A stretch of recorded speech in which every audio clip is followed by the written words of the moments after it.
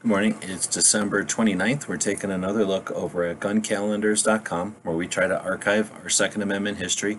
That's not just Second Amendment history, it's also our country's history and other things that might be interesting.